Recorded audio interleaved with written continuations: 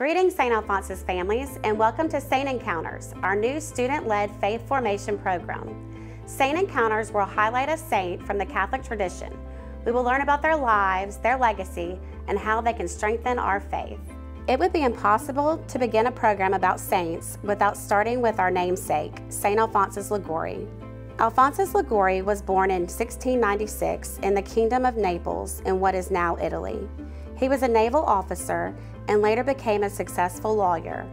When he was in his late 20s, he decided to become a priest and was ordained near the age of 30.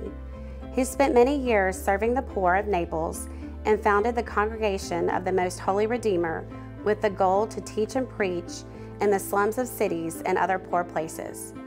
St. Alphonsus died at the age of 90 on August 1, 1787, and was canonized in 1839. He is the patron saint of confessors, arthritis, moral theologians, and the lay apostolate. His feast day is August 1st. St. Alphonsus, pray for us.